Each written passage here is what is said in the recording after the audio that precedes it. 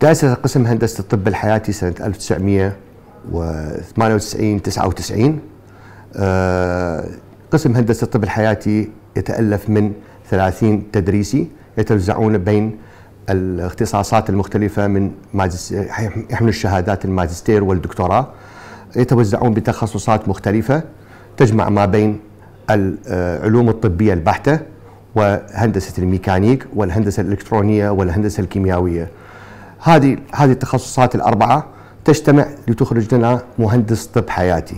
هندسة الطب الحياتي معنية بدراسة وتطوير وتصميم الأجهزة الطبية التي تدخل في مجال التشخيص والمعالجة.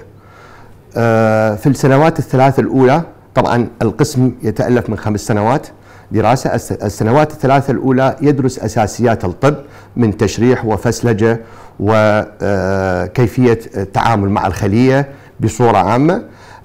كذلك يدرس الأساسيات الميكانيك. طبعا الميكانيك التخصصي من أحمال آه، للعظام و آه، ما شابه ذلك من جسم الإنسان والالكتروني آه، والهندسة الإلكترونية اللي هي تشمل دراسة الكهربائية الجسم وكيفية توزيعها بالإشارات وكيف ومخرجاتها وكيفية التعرف عليها وما هي معناها. في المرحلتين الرابعة والخامسة يكون التخصص بالمجال الهندسة الطب الحياتي منصب على الأجهزة وكيفية تطويرها وتصميمها وإعطاء الأولوية إلى الطلبة في التدريب في المختبرات لكي نخرج مهندس قادر على أن يدخل إلى المستشفيات ويكون قادر على صيانة وتصميم وتطوير الأجهزة الطبية بشكل عام.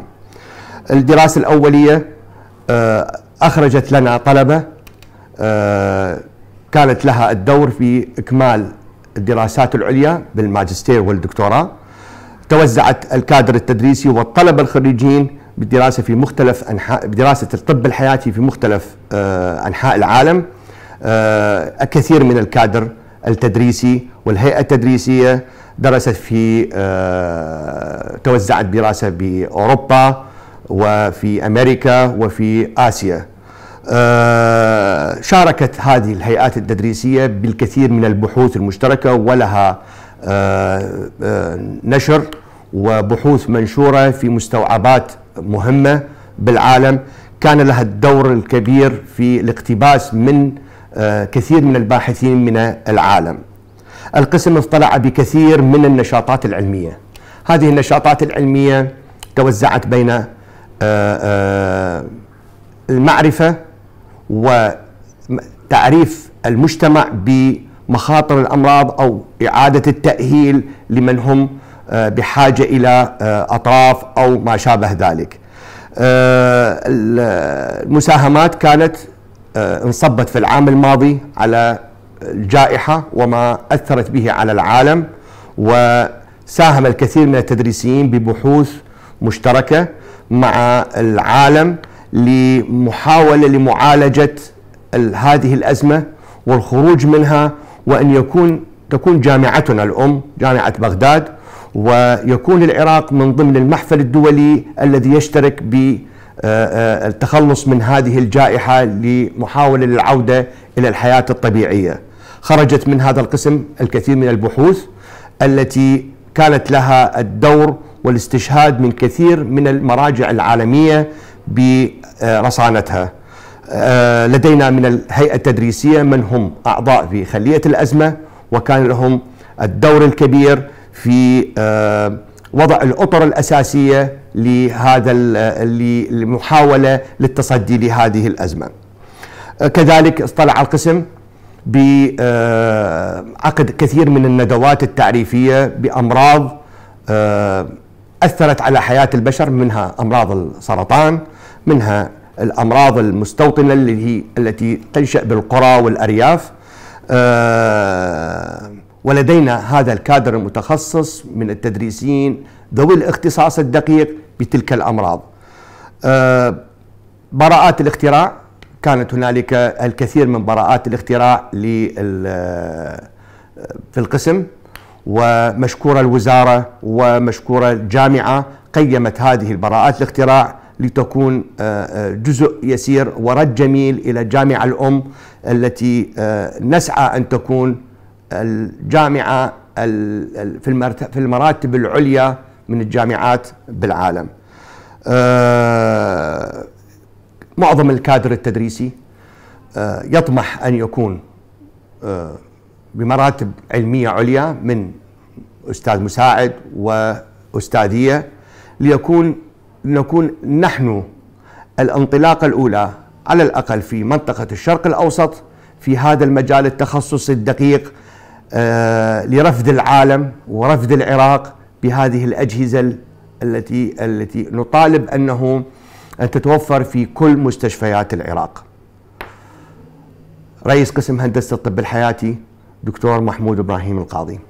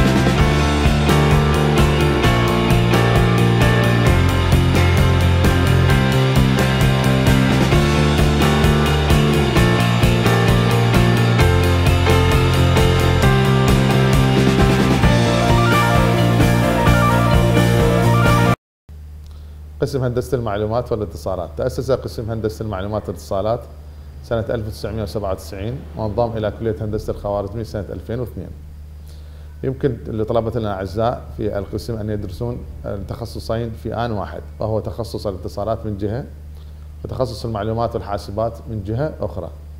مما يعطيهم الإمكانية لفرصة مضاعفة في سوق العمل حيث يمكن أن ينافس في سوق العمل من ناحية الاتصالات والمعلومات في آن واحد. آه، في قسمنا يضم قسمنا العديد من التدريسيين. يبلغ عدد التدريسيين في قسمنا 20 تدريسي. عشرة منهم من حملة الدراسة من حملة شهادة الدكتوراه والباقي من حملة شهادة الماجستير. والعديد من تدريسينا هم خريجي الجامعات العالمية الرصينة. ولديهم الكثير من البحوث في مستوعبات العالمية مثل Scopus و Clarivate القسم يضم ثلاث مختبرات رئيسية. المختبر الإلكترونيك والاتصالات مختبر البرامجيات ومختبر الشبكات. وذاك يتيح لطلبتنا الأعزاء رؤية واسعة لما يدور في سوق العمل والتخصصات الحديثة. أقام القسم الكثير من المؤتمرات والورش العمل والندوات مثل مؤتمر المعلومات والاتصالات اي سي اي سي تي 2019 برعاية المؤسسة العالمية ACM ونشر فيه سادتنا الاعزاء الكثير من البحوث. قسم هندسة المعلومات والاتصالات الاستاذ المساعد الدكتور أحمد ستار هادي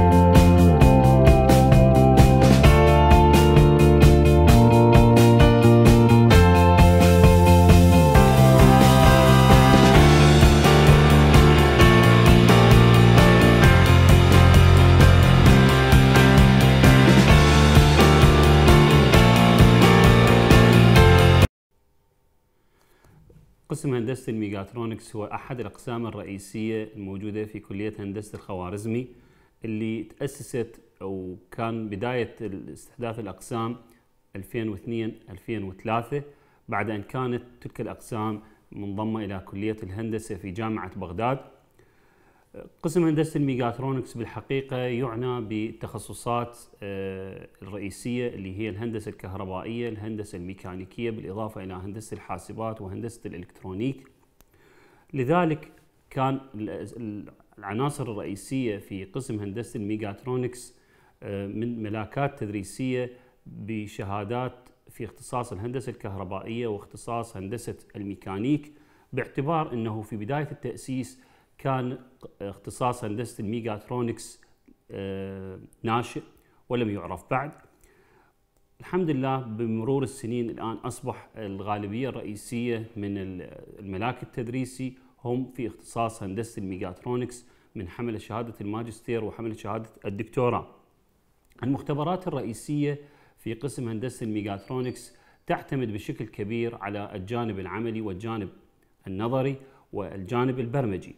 لذلك تم التركيز بشكل كبير في محتو... في قسم هندسة الميكاترونكس على قضايا ال robotics system وعلى قضايا ال control system بالإضافة إلى ال embedded system الذي بدأ في الآونة الأخيرة بال...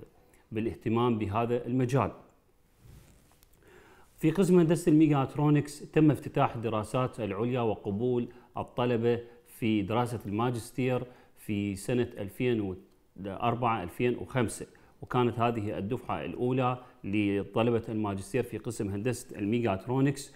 والحمد لله إلى الآن في 2021 استمرت هذه الدراسات العليا بعد انقطاع لفترة بسيطة بسبب ابتعاث التدريسيين وكذلك آه، كان هناك قلة في عدد التدريسيين بسبب مسألة التقاعد. بعد رجوع المبتعثين وأصحاب الشهادات والتخصص تم إعادة افتتاح الدراسات العليا في قسم هندسة الميجاترونكس طبعا بالحقيقة معظم التدريسيين في قسم هندسة الميجاترونكس أصحاب شهادة الدكتوراه ومن جامعات رصينة بعد آه، الابتعاث الذي بدأت به آه، وزارة التعليم العالي في سنة 2012 ولذلك فمعظم التدريسين هم من آه، حملة شهادات من خارج القطر بالأخص في شهادات الدكتوراه. وكان للاساتذه دور كبير بالحقيقة في رفع اسم قسم الميجاترونكس وكذلك كلية الهندسة الخوارزمي وجامعة بغداد بعد نشر عديد عدد كبير من البحوث في المجلات العالمية الرصينة وفي المستوعبات المهمه. للقسم دور كبير في مسألة الندوات وورش العمل التي آه، كان لها الأهمية الكبرى في استقطاب العديد من الزوار والضيوف لتناول مواضيع شتى تخص قضايا التعليم العالي بالإضافة إلى القضايا الاختصاص وبالذات في مسائل هندسة الميجاترونكس. الأستاذ المساعد دكتور علي حسين مري.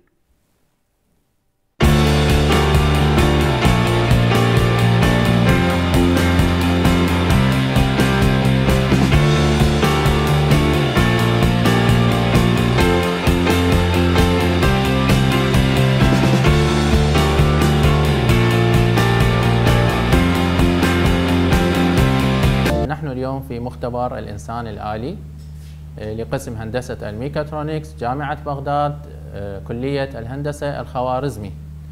آه، مستمرين طلبتنا طلبة الجامعة في النظام الدراسة المدمج اللي يتضمن جزء من المحاضرات النظرية اللي تعطى من خلال ال Google Classroom المحاضرة الإلكترونية والجزء الآخر هو من خلال ال lab المختبرات اللي تكون بها حضوري.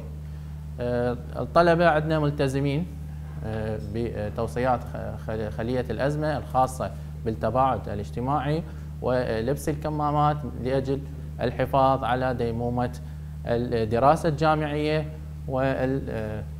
والدراسة خلال الجانب العملي.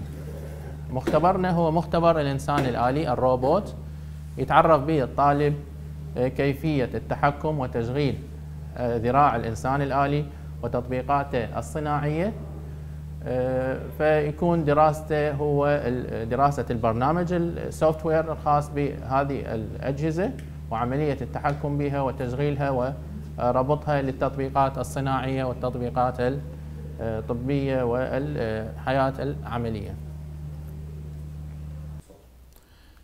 قسم هندسة تصنيع المواد automated manufacturing system engineering طبعا التطور اللي حاصل بالعالم بالوقت الحاضر التطورات العلمية آه، أدى إلى ظهور تخصصات آه، قد تكون ما معروفة سابقا. ولذلك موضوع ال automation آه، هو موضوع جديد ومهم بالصناعات. ونلاحظ أنه جميع الشركات بالوقت الحاضر تبحث عن مهندسين للأتمتة. وبالأخص في الصناعة والمصانع والأنظمة الصناعية والأجهزة. وإحنا قسم نتأسس سنة 2002 يعني من بداية تأسيس الكلية 2002 2003 الملاك التدريسي اللي موجود بالقسم حدود 30 أستاذ ما بين دكتوراه وماجستير. القسم يحتوي على مختبرات مهمة جدا للتخصص منها مختبر فيزياء مختبر كهرباء مختبر حاسوب مختبر ميكانيك تطبيقي. طبعا المختبر الميكانيك التطبيقي يحتوي أيضا على آه، مختبر معادن مختبر فحوصات مختبر مقاومة مختبر material المختبرات اللي موجودة بالقسم راح يتم إضافة مختبر ال CNC اللي هو اللي حيكون بالورشة. طبعا أيضا عندنا ورشة هندسية هاي الورشه الهندسيه متكاملة تحتوي على جميع العمليات الصناعية. المهمة للطالب يمارسها أثناء التدريب يدخل للقسم هذا. بالإضافة إلى الورشة قلنا أكو مكان CNC ال CNC هي مكان مهمة جدا راح يصير مختبر CNC آه، أهميتها إنه هي آه، تخلي المنتوج آه، مرن اللي هو ال FMS معتبر بها هذا التخصص يعني يحرر العامل من الجهود الكبيرة يرخص المنتوج ويكون بحالة إنتاجية جيدة عالية دقة عالية ينطيني هذا المنتوج.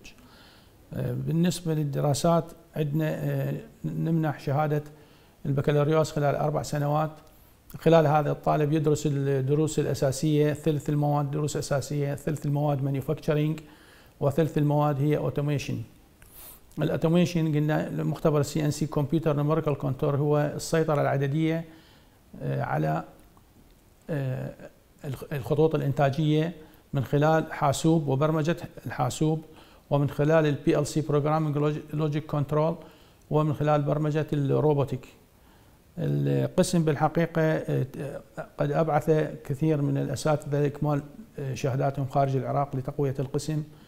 وأغلبهم حاليا يرجعون أكثر من ثمان آه، دكاترة رجعوا للقسم أيضا ضافوا للقسم إضافة جيدة وجديدة وخبرة جديدة تكنولوجيا حديثة من العالم الآخر اللي هو العالم العلمي. بالنسبة للندوات القسم قام عدة ندوات خلال هذا العام. نسبة قليلة هي هذه المخ... نسبة لجائحة كورونا فشوية الندوات كانت والمؤتمرات أقل من السنين السابقة. آه، ما أنسى أيضا أنه القسم آه، سجل براءة اختراع. عندنا براءتين اختراع خلال هذه السنتين اللي فاتت تم تسجيلها بالقسم من قبل أساتذة.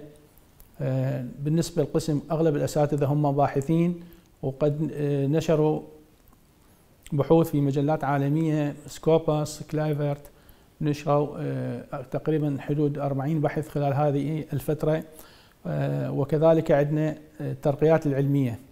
نلاحظ أنه بالترقيات العلمية أكثر من ثلاث دكاترة آه، قدموا على الأستاذية وهذا راح يساعدنا على أن نفتح تخصص في الأنظمة التصنيعية في مجال الصناعة في مجال الأوتوميشن يكون يمنح شهادة دكتوراه إن شاء الله خلال هالسنوات ننتظر الترقيات العلمية اللي موجودة.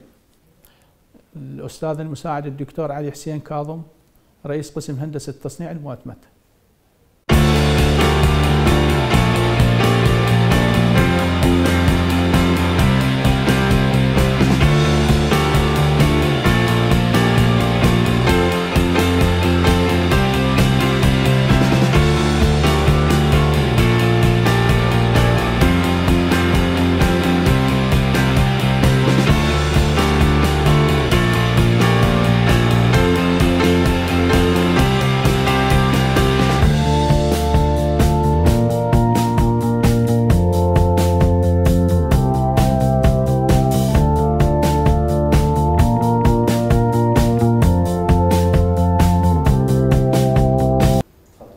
بسم الله الرحمن الرحيم.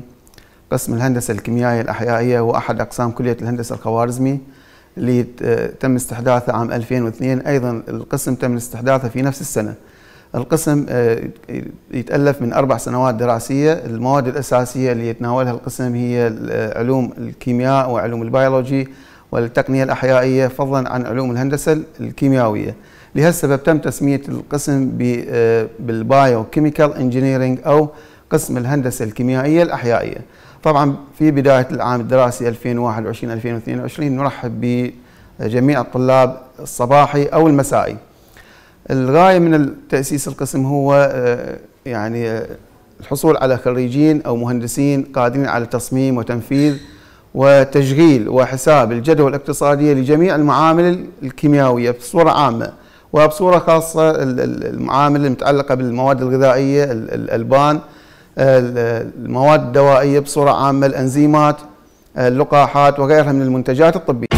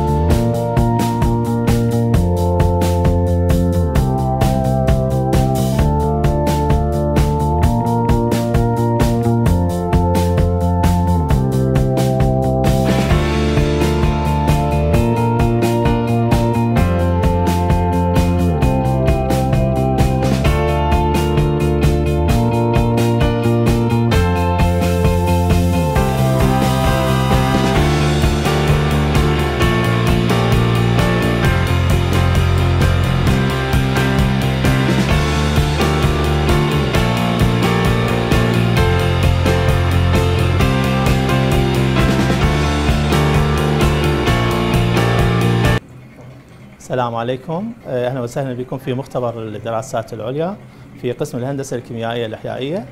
آه، المنظومة اللي آه، أمام حضراتكم هي منظومة تخص بحث مختبري لإزالة الخارصين من المخلفات الصناعية باستخدام تقنية بايو كهروكيميائيه إحيائية جديدة لأول مرة اللي هي تعتمد على استخدام مبدأ الترسيب الكهربائي بالنسبة للمعدن اللي نريد نزيله مع استثمار آه، آه، استخدام وجود التربة اللي تحتوي على ما يسمى بالبكتيريا الكهربائية اللي موجودة بها كسورس لعمليه الاختزال.